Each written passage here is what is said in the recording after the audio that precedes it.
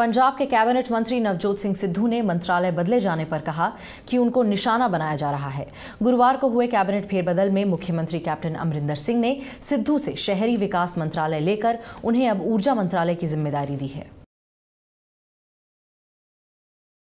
पंजाब के मुख्यमंत्री कैप्टन अमरिंदर सिंह ने गुरुवार को कैबिनेट में बड़ा फेरबदल करते हुए कैबिनेट मंत्री नवजोत सिंह सिद्धू समेत कई मंत्रियों के मंत्रालय बदल दिए। खुद मुख्यमंत्री ने ट्वीट कर सिद्धू समेत दूसरे मंत्रियों के मंत्रालयों में किए गए फेरबदल की जानकारी दी। मुख्यमंत्री ने सिद्धू से शहरी विकास मंत्रालय लेकर उन्हें अब ऊर्जा मंत्रालय की ज़िम्मेदारी सौंपी है। उधर मंत्रालय बदले जाने पर जहाँ सिद्धू ने कहा कि उनको निशाना बनाया जा रहा है तो वहीं मुख्यमंत्री अमरिंदर सिंह ने कहा कि इससे सरकार के कामकाज में और सुधार होगा और पारदर्शिता आएगी।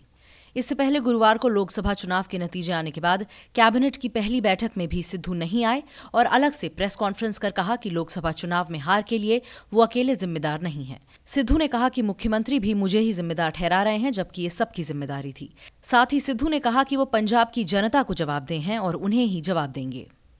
Bureau report, Go News.